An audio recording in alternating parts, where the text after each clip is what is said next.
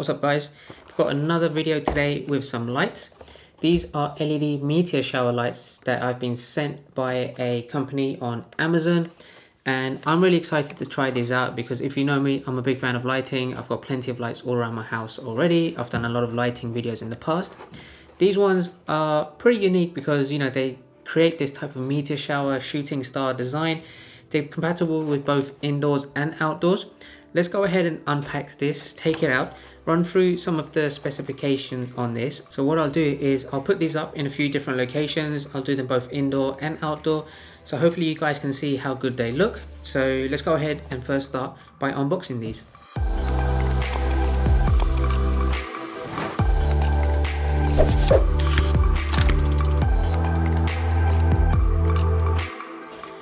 So let's start off with this one.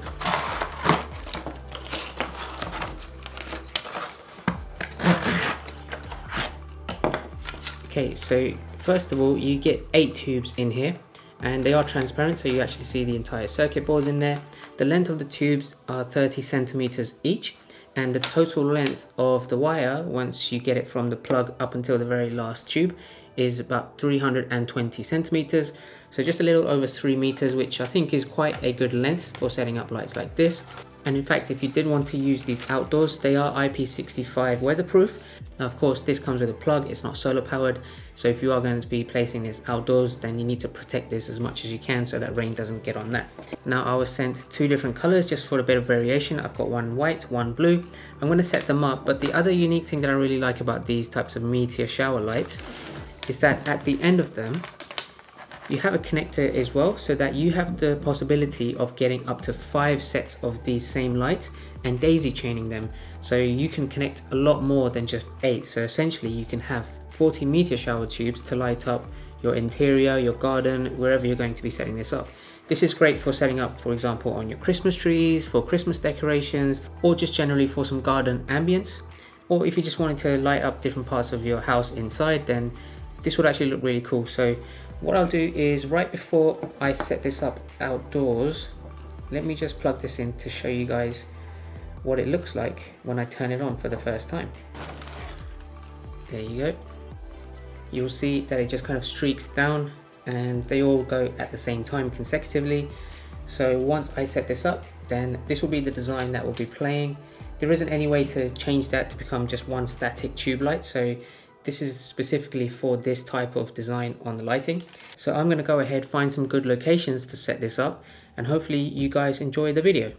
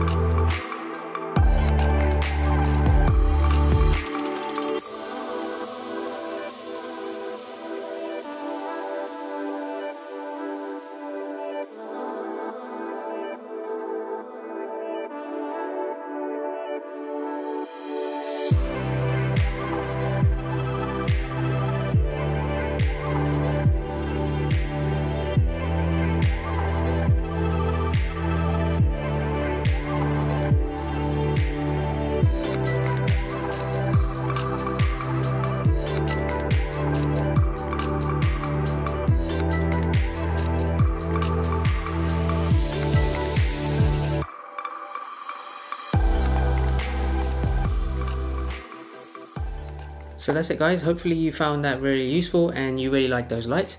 You know, I'm quite a good fan of lights which I don't need to fiddle around with any specific remote controls or buttons that are on the actual devices themselves.